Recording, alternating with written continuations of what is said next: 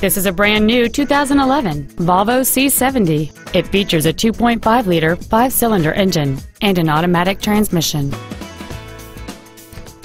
This Volvo features air conditioning with automatic climate control, a CD player, and it's easy to see why this automobile is an excellent choice.